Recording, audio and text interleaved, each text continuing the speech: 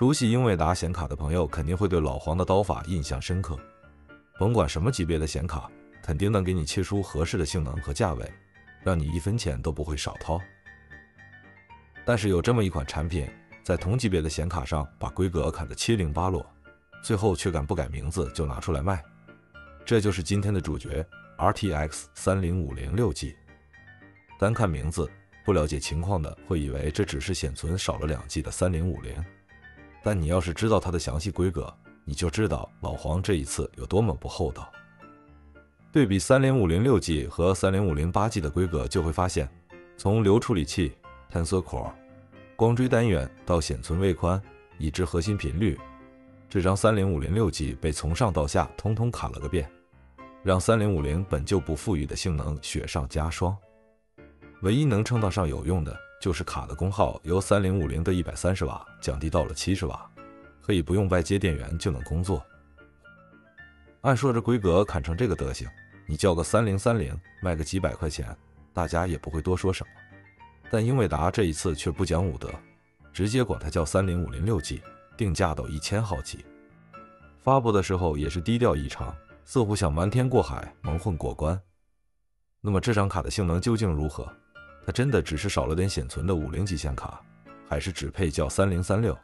今天我们就来一探究竟。今天用的三零五零六 G 是微星的万图师，测试平台还是 N 卡老搭档健康版幺四九零零 K 和三十二 G DDR 五显存。上机之后先来跑个分，这块卡在 TimeSpy 的得分是四千八百二十九分，算是中规中矩。接下来是几款游戏的跑分，大表哥二里，幺零八零 P 画质平衡，开大力水手质量档，平均七十四帧。GTA 五增强版，幺零八零 P 画质非常高，开光追，大力水手质量档，平均在九十帧以上。孤岛惊魂六，幺零八零 P 最高画质，FSR 质量档，游戏可以跑到七十四帧。跑分成绩看起来可以。实际运行游戏里表现也不错，在 CS2 里，幺零八零 P 高画质，FSR 开超高品质，几乎可以稳定两百帧以上。三角洲里，幺零八零 P 高画质，大力水手开质量档，平均能到一百帧以上。永劫无间，幺零八零 P 高画质，大力水手开性能档，游戏能达到一百帧左右。生化危机四。幺零八零 P 高画质，FSR 开质量档，游戏能稳定在六十帧以上。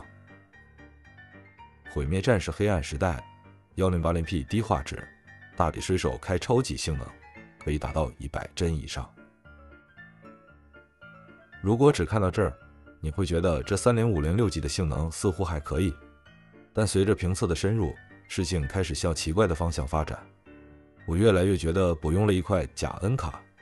或者说用了一块 A 卡，怎么说呢？首先是开启光追后性能下降严重，在古墓丽影暗影里，幺零八零 P 最高画质，大力水手质量档，关光追成绩是八十二帧，开光追只有四十七帧。在心灵杀手二里，幺零八零 P 低画质，大力水手超级性能，关闭光追平均六十帧以上，开启光追平均不到五十帧。而黑神话悟空里，幺零八零 P 中画质，大力水手质量档，开低光追测试成绩只有二十六帧，关闭光追成绩可以达到六十三帧。这种程度的性能下降，完全不像一块用 RTX N 卡，反倒和我用六千系的 A 卡感觉如出一辙。第二个就是三零系的显卡不支持大力水手真生成。想用真生成，只能用 FSR。同样是黑神话悟空里，FSR 质量档开真生成，开地光追四十六帧，关闭光追可以达到九十四帧。对比只开大力水手的设定，借助真生成的能力，帧数获得了明显的提高。赛博朋克2077里，1080P 画质为高，关闭光追，大力水手平衡档，不开真生成，成绩是五十五帧。而开 FSR 真生成后，成绩可以达到八十九帧。行星者二里，幺零八零 P 低画质，大力水手性能档，不开真生成，游戏只能跑在五十帧左右；开启真生成，游戏可以达到七十帧以上。第三，同样的设定，开 FSR 效果比大力水手要好。抛开那些只支持 FSR 的游戏不说，单说同时支持大力水手和 FSR 的游戏，在这块三零五零六 G 上，竟然会出现 FSR 效果比大力水手好的情况。在《废渣地平线五》里，幺零八零 P 超高画质，大力水手质量档成绩是五十帧以上，而开 FSR 超高质量，成绩可以达到六十三帧以上。之所以会出现上面这些诡异的情况，说到底，还是由于这块三零五零六 G 的规格被看得太狠，以至于无法正常发挥作为一个 N 卡的特色技术优势。在游戏测试中，唯一体现了硬件光追作用的是能够进入像《毁灭战士：黑暗时代》这样要求硬件光追的游戏。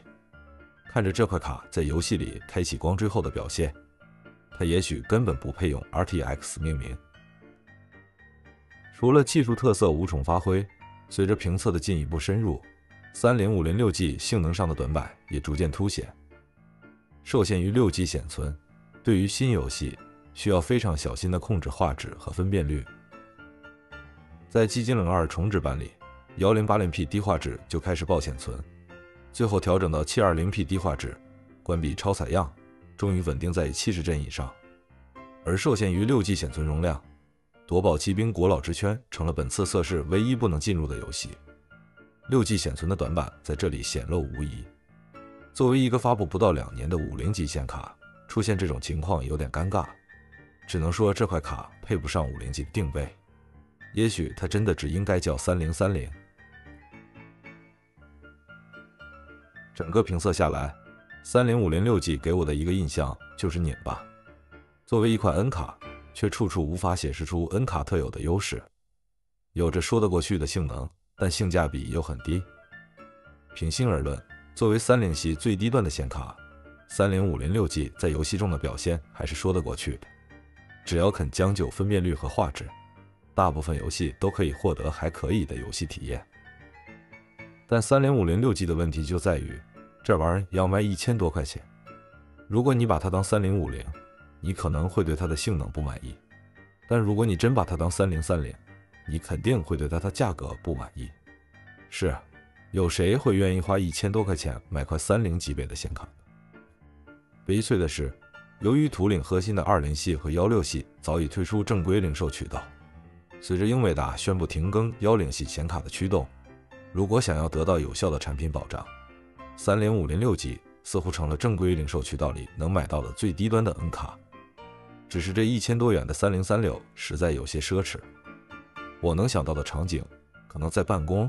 科研、医疗等领域，不需要或者无法提供外接供点的显示输出，需要一点 RTX 显卡的性能又不多，对预算又不像个人用户这么敏感的，也许会考虑用这块卡吧。对于我们游戏玩家，这块卡可能真的只是看看就行。